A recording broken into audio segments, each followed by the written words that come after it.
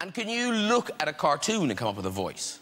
Well, like with Happy Feet, I, I got to be, like, I played two different characters. Initially three, but then they, they were worried that the one voice sounded too familiar. But when I got to play an Argentinian penguin, is to play the little machismo penguin, you know, the, the guys, the Argentinian guys are going, what do you, you know you want it? what are you looking at? You know you want it. Look at it. Don't be afraid of the flippers. I love you. I brought you some pebbles. There's some bling, baby. You want some bling? You know you do.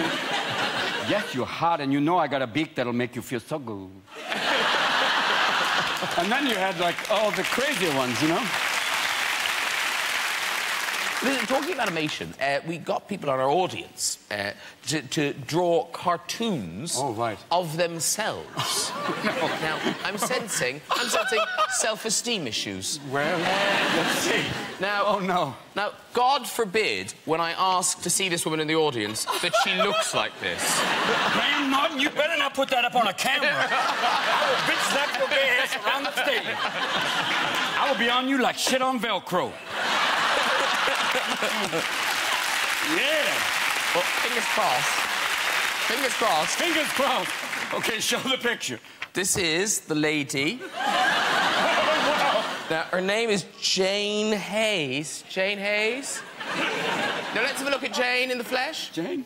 Jane, you're beautiful, Jane. Jane, you're not a, a gay black basketball player. spare a thought for Sally Jenkins and I think her husband. Look at Sally. Where's Sally? Where's Sally, Sally? suffers from paperclip tits. Oh, oh, Sally, you look quite buxom with your funny little terrier ears. Look at you. Oh, and, and, for some reason you, you've drawn a penis on your own face. Why she done that? She's done a penis with two tiny balls. and what are those? Those are, well, I don't know. There's two upside down bells. oh my God! Is that your husband, David? that, is that you? Yeah. yeah. And, what, and you're, are you are you naked as well? Yeah. What's that oh. strange line? Yeah, but more importantly, what's peeking out here? Are those your two balls going? I'm down here. And why do you have an accordion for a neck? oh yes. Yeah, what's the what's with the neck? We were drunk. I know that. We were drunk. We were drunk. no Fair shit. Enough. Yeah. Who else have I got? I, oh, actually, I quite like to see this woman. Uh, Stephanie Jack. Where's Stephanie Jack? Hello, Stephanie Jack. now, there's Stephanie Jack in the flesh, and here she is in the cartoon. It's quite good.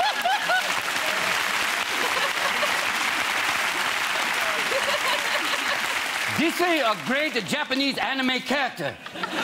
Mr. Titsula to come to your house. She have big eyes to come to your house with a larger breast. Open the door with her nipples. Look at those. Humming, humming, humming, humming. Mr. Bouncing Breast. Follow the bouncing breast. wow. That's kind of what. Can I have this one? Yes, you can. Been on the road for a while. Why were you having the was it a deep tissue massage you were having? Where are you going with this, Graham? weren't, you having, weren't you having a Turkish massage or something? I don't know what it has to do with what we're talking about. But, but uh, it's a funny story. Tell it. I had an awful experience having a Turkish massage where this guy's idea of massage was to like take my le one leg and, and the other arm and try and connect it behind my back. And I was kind of like, you know, like that. And then I, well, his belly went in my mouth. Oh. it was like a little Borat moment. And you know when you get something weird in your mouth and you're like, if you're eating something, you go like, you send your, your brain sends your tongue to figure out what it is. it's not a conscious thought. It's just like, is that a bone? Figure that out. Your tongue goes in to figure it out. My tongue was like, what is that? it's a hairy belly. Sounds like you're heading off a newspaper. now, uh, Emilia Clarke, did you get to yes. chat with everyone backstage? Um, yeah, kind of. Did you get to talk to him? Yeah, kind of, maybe. Emilia Clarke loves Matt LeBlanc. Hi. Hi. actually blushing. Um, yeah, I just think you're wicked. game of two halves. Uh, I, I think Dominic's wicked. Oh. Leave baby in the corner. are you returning the favour? Do you watch Game of Thrones, Matt? I watched it the first season, and then I kind of fell out of it, and then I tried to watch it this That's okay, season. that's okay, And I don't know that's what's okay. going on. I can't keep up. I feel There's so lots of stuff going on, There's so yeah. much going on. There is. There really is. But it's okay. it's all I right. mean, I, I could lie, but I don't want to lie. I'm a no, no, no, no. You've seen the good. You've seen the good bits. You've seen the first season.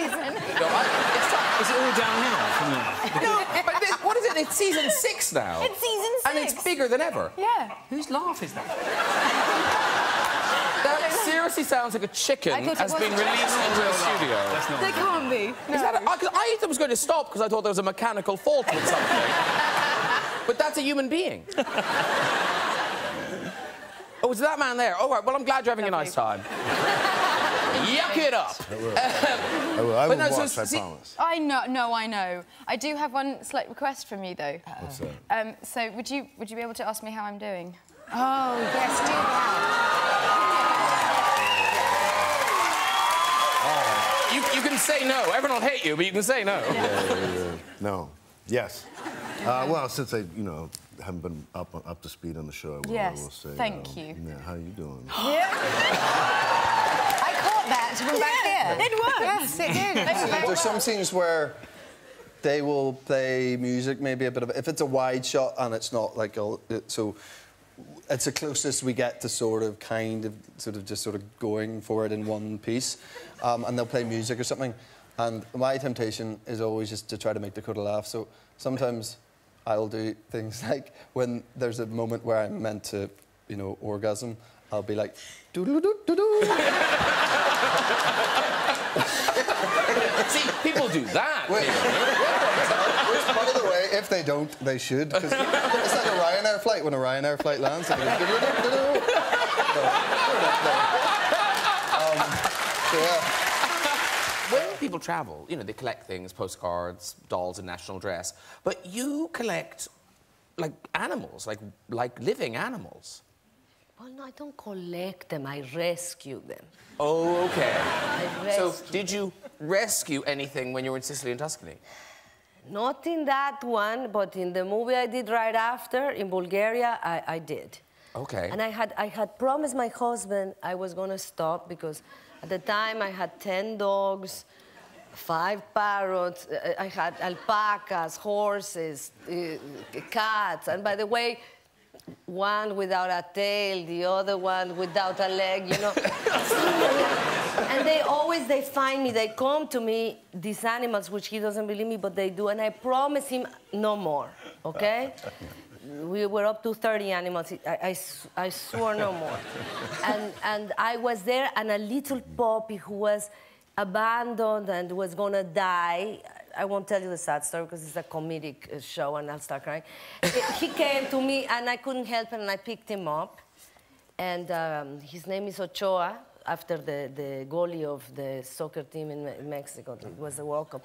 And I took him, and then I was terrified. How am I going to explain this to my husband? I promised, I promised. And um, so I came up with this brilliant idea to pretend that I was having an affair. Mm. And then, Ochoa. no, with somebody to make him think I was having an affair. And at the end, I would say, no, it's not an affair. I picked up a dog, and then he would feel better.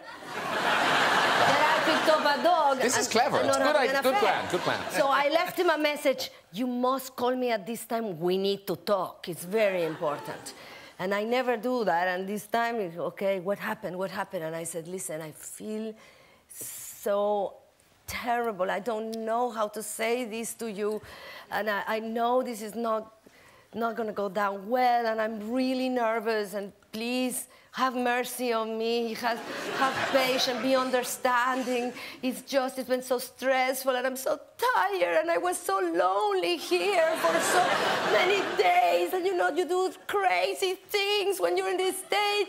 And he said to me, Oh, please don't tell me you picked up another dog.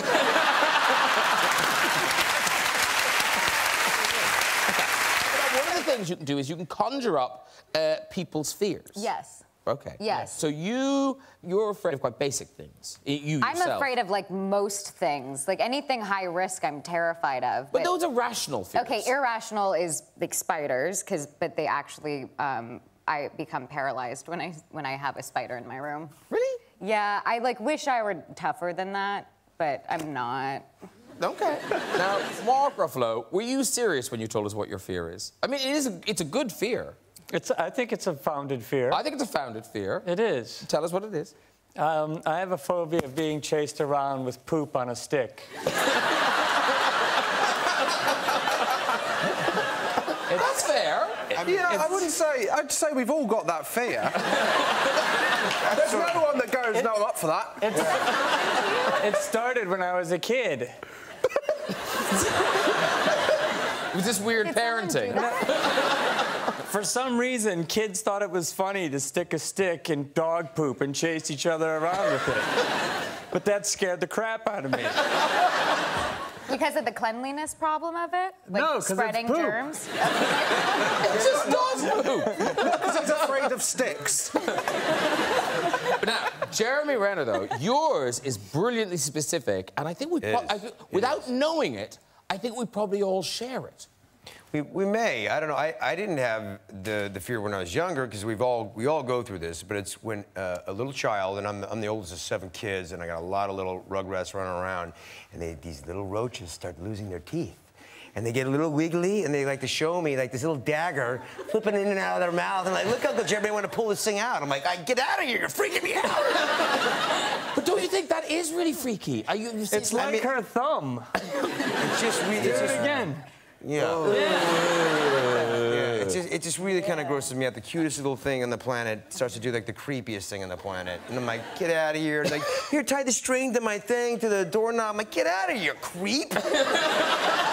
Disgusting animal. How old are you at this Terrible. stage? That's now. No! I got a lot of little ones running around, flipping their little fake, their teeth falling out. Look, we all have those, you know, when you're, you have the dreams, your teeth fall out. I don't know what it means. Anybody know what it means?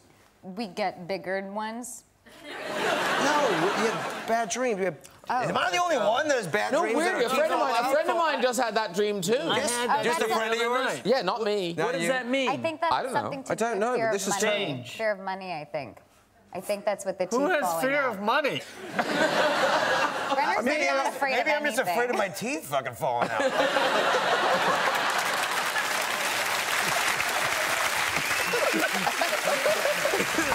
Sorry. now, Josh, what have your fear? What are you afraid of? Well, I was going to go with flying, but I think I'll go with. Um, Girls over 12?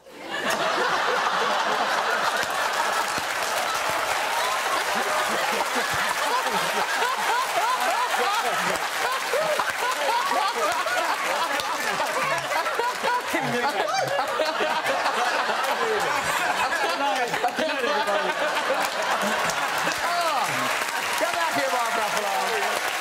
Come back here, Mark Ruffalo. I feel terrible. I, I don't know what came over me. I'm not going to lie to you. the last minute of my life, I wouldn't have predicted that. How was it, Mark Ruffalo? You're not going to believe what he said to me. But he was bang on the money. He's a very perceptive man. It was the Dora poem. Don't try and justify it. Do you know what? I've always hated the Hulk. He's shit. Don't make him angry. Yeah, you wouldn't like me when I'm angry, Ruffalo. That's what... I, my son said that to me the other day when he was mad at me. What, that you wouldn't like him if I always hated the Hulk. I think he's shit. What is the hold that the Spice Girls have over you? Is this real? Yes, it's real. And, and I just feel like I've been talking more about the Spice Girls on this press tour than I have about the movie.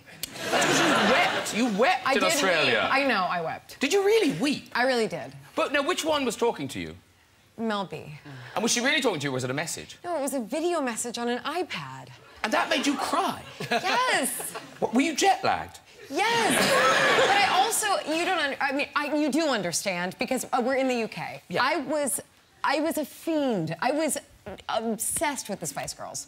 And they taught me about girl power. Mm. And I love them. I think they're fantastic. And What's the- I'm. what's the song? There's so many, Jamie. There's so many. How's it going? Spice up your life. Every boy and every girl. Spice up your life. Hey! There's so many, and they're so fantastic. And today on the radio, um, Mel C talked to me over Skype. Oh, wow. So it's really very exciting. Okay, now, who would you say is your favorite Spice Girl? Emma Bunton, Baby Spice. She's your favorite. She's okay. my favorite. Who's next? Don't do that. Just a question. All of the other four. So Emma Bunton. Well, Emma Bunton was the one that I had blonde hair and bangs, and my name obviously is now Emma. My name was Emily, but it was taken when I became an actor. Um, and so now it's Emma. And uh, yeah, I just, I, I love. So get me this. So, so you one gave you a video message and one talked to you on Skype. Yes. But you're telling me you've never met Are you a gonna Spice do? Girl? Are you gonna do something right Have now? you never met a Spice girl? Are you Girl? gonna do something really? Have you never met a Spice Girl? I'm. Wait, hold on. I have to mentally prepare myself. Have you never met a Spice Girl? Not in the flesh. Okay. Now, as you Don't. know, as you know, as you know, Emma, it is very rare. It is very rare for more than one Spice Girl to appear together for So